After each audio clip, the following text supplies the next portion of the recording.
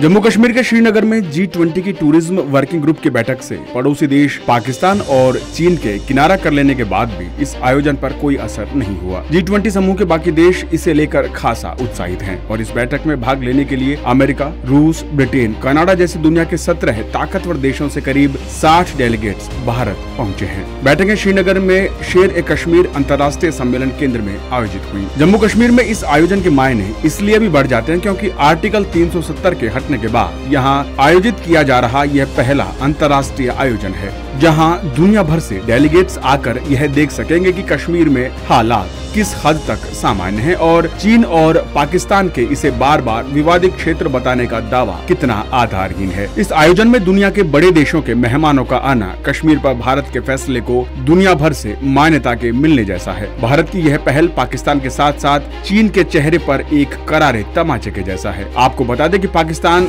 शुरू से ही कश्मीर में जी ट्वेंटी के आयोजन का विरोध करता रहा है। वहीं उसके सहयोगी और दोस्त चीन ने भी इसे विवादित क्षेत्र में किया जाने वाला आयोजन बताते हुए दूर रहने का फैसला किया था। पाकिस्तान ने मुस्लिम देशों से भी इस आयोजन से दूर रहने की अपील की थी, जिसका बेहद सीमित असर देखा गया। केवल तुर्की और सऊदी अरब ने इस आयोजन से दूरी बनाई है, लेकिन इन सब के बाद भी जिस तरह से दुनिया के दूसरे देशों ने भारत के आयोजन को हाथों हाथ लिया है, यह भारत और केंद्र सरकार की विदेश नीति की बड़ी जीत कही जा सकती है।